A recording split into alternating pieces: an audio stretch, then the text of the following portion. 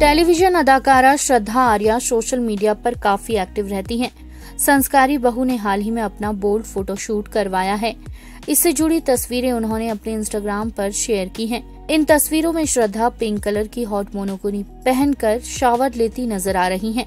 Pink colour की बिक्री में श्रद्धा का बोल्ड अंदाज वाकई कहर ढा रहा है करियर की बात करें तो श्रद्धा आर्या ने 2004 में talent hunt show India's best cine stars की खोज से शुरुआत की इसके बाद उन्होंने साउथ फ़िल्म इंडस्ट्री में काम किया वह राम गोपाल वर्मा की फ़िल्म निशब्द और शाहिद कपूर स्टारर पाठशाला में भी नज़र आ चुकी हैं। श्रद्धा इन दिनों टीवी के लोकप्रिय शो कुंडली भाग्य में नज़र आ रही हैं। INS report